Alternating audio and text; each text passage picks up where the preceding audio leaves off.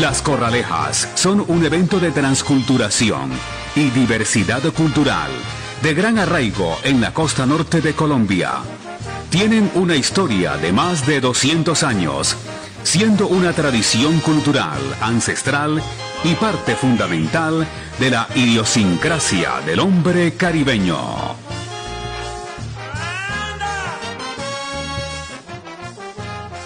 En el marco de nuestras tradiciones ancestrales están las corralejas, que tienen registro y antecedentes de estas prácticas taurinas o corridas a finales del siglo XVIII, un poco antes de la Guerra de los Mil Días, o sea que tienen 200 años de tradición.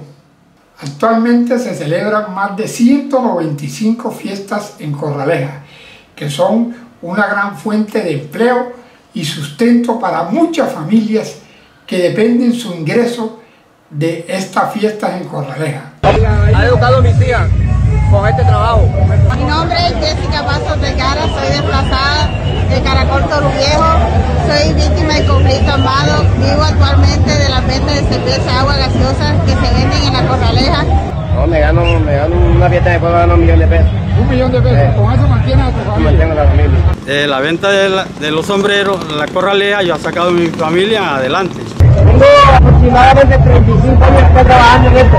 ¿Cuánto limito a tu Y con familia? esto alimento sustento a mis hijos, el estudio y eh, yo he estado pagando. Todas estas personas devengan directamente ingresos de la corraleja. Eso da más o menos 1.786 personas por cada corraleja. Si las multiplicamos por las 195 corralejas que se celebran al año, nos va a dar 348.270 personas que se benefician directamente de las corralejas.